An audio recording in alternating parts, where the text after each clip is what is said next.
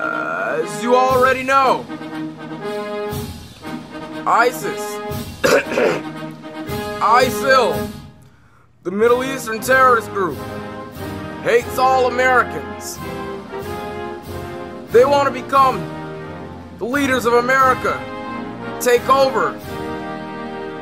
They want to come in your homes and steal all of your liberty and kill us all.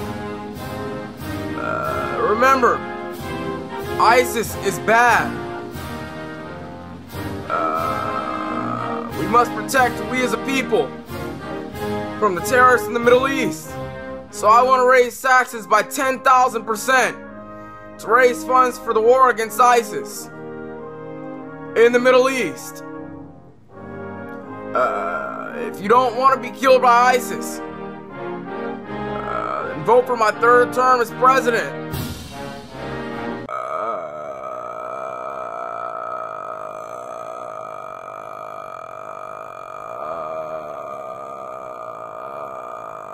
And I will implement this tax system.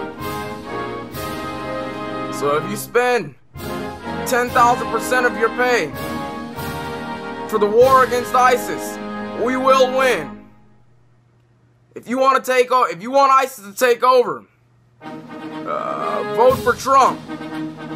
He likes ISIS. Uh, I don't negotiate with terrorists, but Trump does. Uh, so does Hillary Clinton. Uh, I spend trillions of taxpayer dollars. Uh, trillions of my personal money on the war against terrorism. Uh, so to protect this country, we must raise government spending to protect your rights as a proud citizen.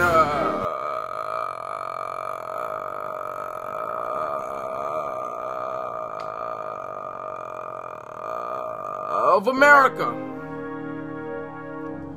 I am Barack Obama, and I approve this message. Uh, hashtag screw Trump.